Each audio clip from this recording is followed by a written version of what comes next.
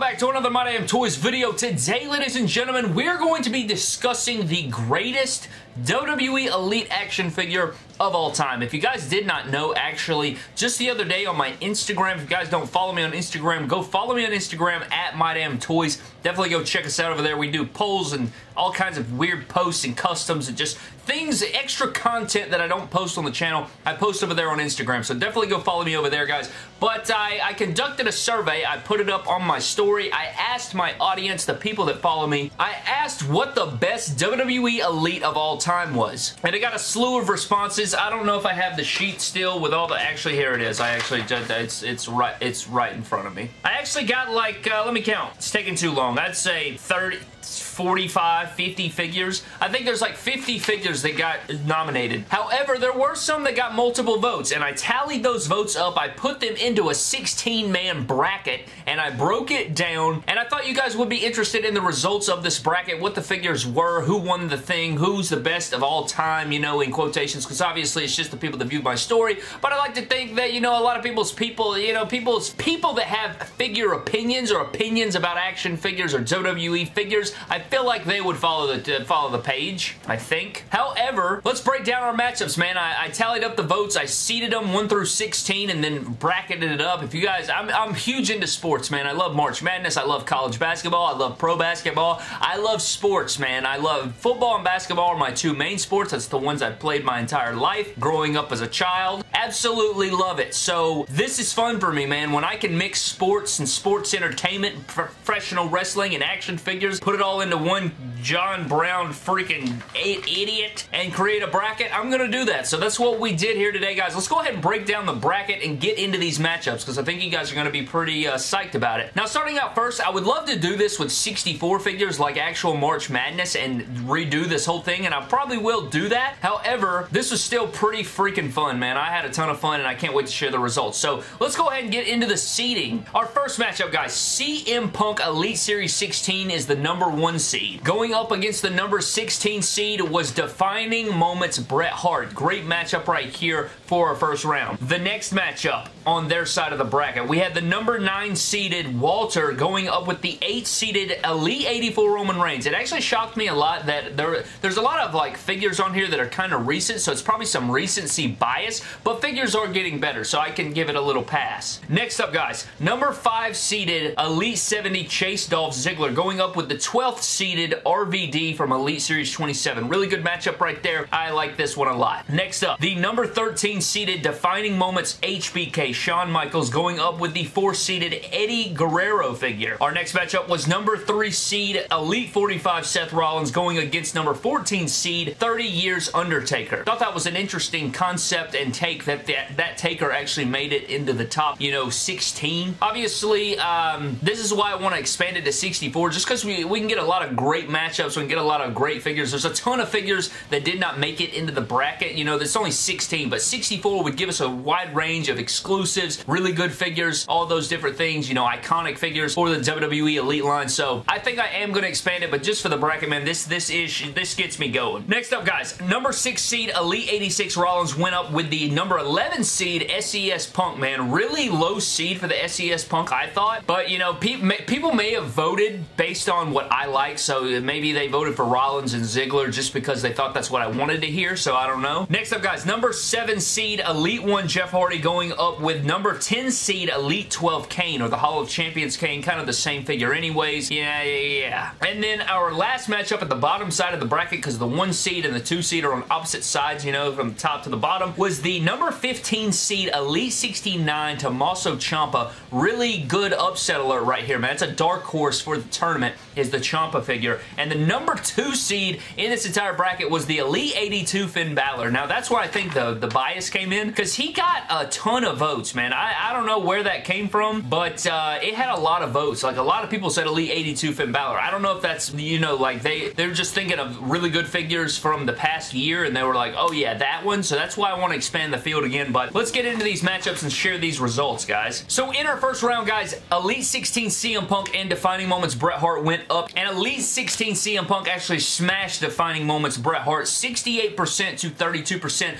I'd say around average, uh, these polls got close to 5,000 votes per one, so there was a lot of people voting on this thing. The next up, our next matchup was a, it was a very narrow victory for Walter, guys, but Walter does advance over the Elite 84 Roman Reigns. Next up, guys, the Elite 27 RVD edged out the Chase Ziggler by just 5%. Like, they, I know it's 10% difference here, but uh, away from 50, it was a very close race. I thought that Ziggler was going to get him, but uh, the cloth accessories and the attire and all that stuff, man, people love that Elite RVD. I feel like if we had more Elite RVDs, this would have been a little bit different, but since it's our only Elite RVD, I think that's probably why people went with RVD, but I, I can agree with it. You know, I don't have any, any uh, you know, hard feelings towards it. Next up was Legends Eddie and Defining Moments HBK and Eddie Guerrero in 60 to 40. Really good matchup right there in the first round to see two epic figures and two legends like that go head to head. Next up, guys, was Elite 45 Rollins and 30 Years Taker, and Elite 45 Rollins actually rocked Taker's face, and I can agree with that. I really love the Elite 45 Rollins, so, uh, and I don't, I don't even remember, I don't think I voted in this at all, trying to, you know, not, you know, interfere or anything like that, so I feel like, I, I can't even remember. I probably, I, I, who cares? Next up, Elite 86 Rollins does get a pretty good amount of votes, but the SES Punk does edge him out, guys, 55% to 45%. I, again, I think, you know, a lot of people were probably voting for Rollins, you know, and that's pretty impressive that this Punk could win when, you know, you're comparing it to Rollins when it's such a, it's like a 10, like this SES Punk is literally 10 years older than the Seth Rollins.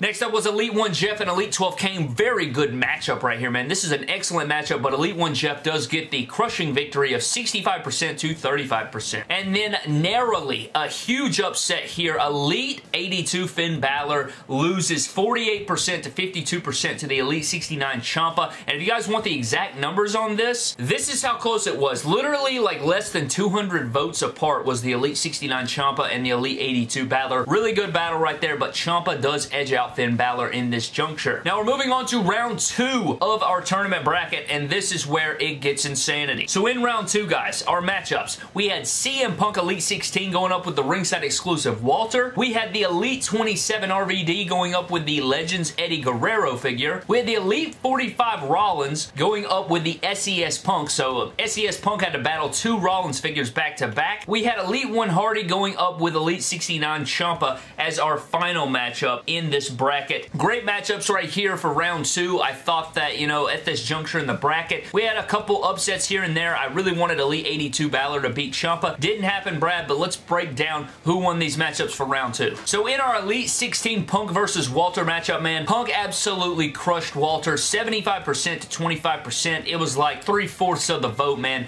Elite 16 Punk was on a tear as the number one seed. It was going to be very hard to take down, and Walter proved that here. Walter's a good figure, but no match for Elite 16 Punk right here. Next up, guys, this is a great matchup. Two legendary figures. We had Legends Eddie Guerrero versus Elite 27 RVD, and since we don't have that many Eddie Guerreros, man, this better Eddie Guerrero Elite does beat out RVD. I think, again, if both of them had multiple figures, you know, they both don't have that many, so when you get a really good figure of, you know, Eddie Guerrero with the cloth accessories and around that time and everything, uh, Ed, Eddie Guerrero does beat him out 59% to 41%, but that was a good little battle right there. Coming up next, guys, Elite 45 Rollins going up with SES Punk. He doesn't have enough, man. Elite 45 Rollins beats out SES Punk. Really good battle right here, 55% to 45%. SES Punk is eliminated in an upset, but Elite 45 Rollins had a ton of support in this tournament. And the last matchup of round two, guys, Elite 1 Hardy beats out Elite 69 Ciampa. This one was kind of closer than I thought it would be, but Elite 1 Hardy wins 58% to 42% over the Dark Horse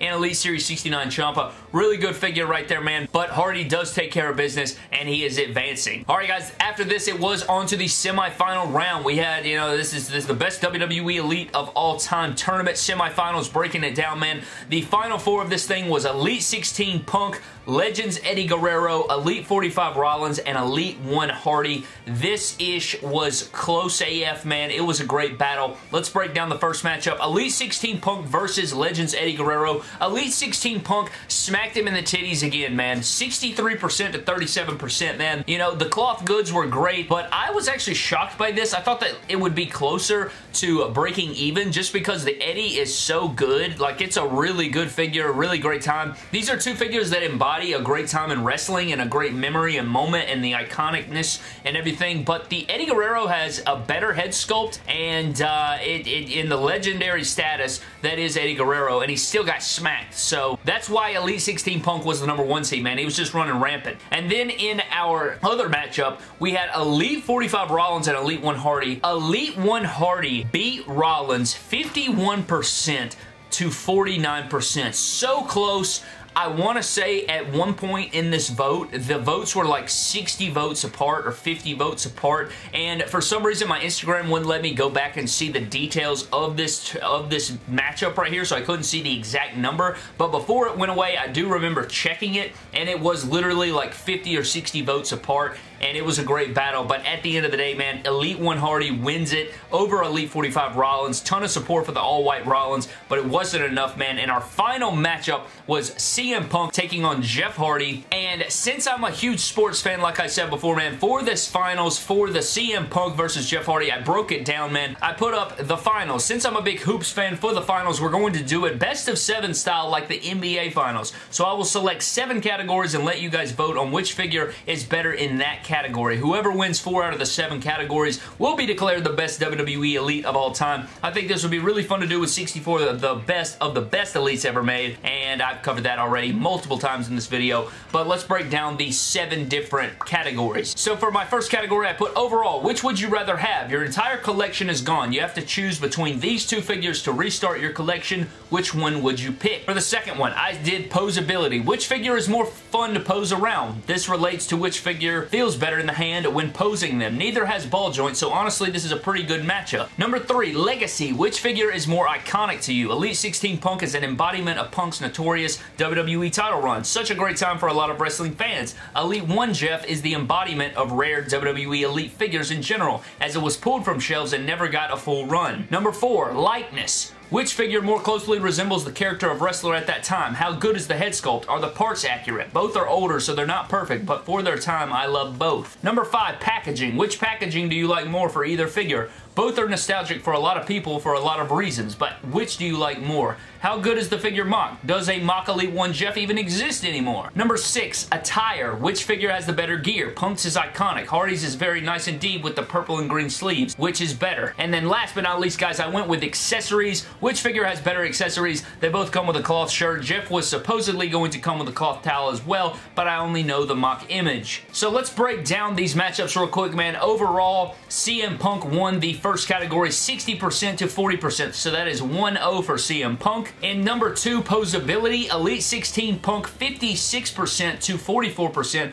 for Elite 1 Hardy. That one kind of shocked me. I feel like Hardy is slightly better to pose around, but the people voted, man. What do you want? It's not my, it's not, I can't play a role in this. Number three, Legacy. Punk beat out Hardy 55% to 45%, so 3-0 really big lead right now for CM Punk. If he wins one more category, it is over, but Elite, this kind of shocked me for Iconic, or for Legacy, I should say, because Elite 1 Jeff, I feel like has a, is like a bigger Legacy type deal, you know, because he's like, you know, he, he like literally is so rare, like it's extremely rare to have his figure, so I, I don't know, but that just, the, the people spoke, man. Number four, Likeness. CM Punk wins again, 66% to 34%, and that pretty much wraps up the tournament because CM Punk 4-0 swept him before we even got, you know, Jeff on the board here. But Jeff did end up winning the packaging, which would be 59% to 41% packaging. You know, Jeff Hardy gets it. So right now the series, it's over. Series is over. CM Punk won, but Hardy did get a victory in there. Attire, CM Punk wins again 5 to 1, 58% to 42%. And then accessories, Hardy almost, you know, got in there for a second victory, but at the end of the day, Punk wins 51% to 49% over accessories. And the all-time best figure ever is Elite 16 CM Punk. And I honestly thought that this would probably happen. A lot of people love that figure for the iconicness, the attire, just the embodiment of it. Literally, I mean, one thing that you could probably do, like if he ever came back to the company, I would love to see that figure re-released with a better head sculpt, interchangeable hands, WWE Championship. You could do some epic stuff, man. Double jointed, like, good God, can you imagine them re-releasing that that figure, but Elite 16 CM Punk as it stands right now is apparently the best WWE Elite of all time. Do you agree with it, Brad? Let me know down in the comment section below. I don't even know how long we went. I feel like I sat here for a minute, so I guess we'll just have to find out about that, but let me know down below, guys, if Elite 16 CM Punk is indeed the greatest figure of all time or the best WWE Elite of all time, and let me know what your favorite is down below. Do you agree with the results? What do you guys think? Do you think I should expand the field to 64 and run it back? Will Punk repeat? I guess we can find out, guys, but that pretty much does it for today's video, guys. Thank you so very much for watching. I had a ton of fun breaking down the polls, doing all the stuff. Again, it's all sports related for me, so I love stuff like this, man. That's what I live for. But before we get out of here, guys, let's get into a random shout out before I have to cut my legs off and eat them like scrambled eggs. And this shout out is going to go to Fusion Fire Wrestling, who says MDT RVD with double jointed arms in the future with the freaking crying face of the just, you know, like wailing emoji with the with the praying hands. And he is correct, man. When I see a double jointed RVD with the accessories and the true effects and the RVD and the hey hey it hurts me, I will be losing my freaking mind, man. That's going to be an epic day of reveals, and it'll be here before we know it, man. We're going to blink, and I mean, we may get it at San Diego Comic-Con. Like, we may actually get to see that, but when we actually see the figure revealed to us, which would probably be, we're waiting on Elite 87. It should be hitting any time now. And then we have, what, Elite 88, 89, 99. We might get it by Christmas. We might see it, like prototype image of the RVD by Christmas. But I would guess later than that. I'd guess like maybe February is when we would see that figure. But who knows, man. But don't cross the line like, uh, I don't know. Like that mosquito from a few videos ago. F him.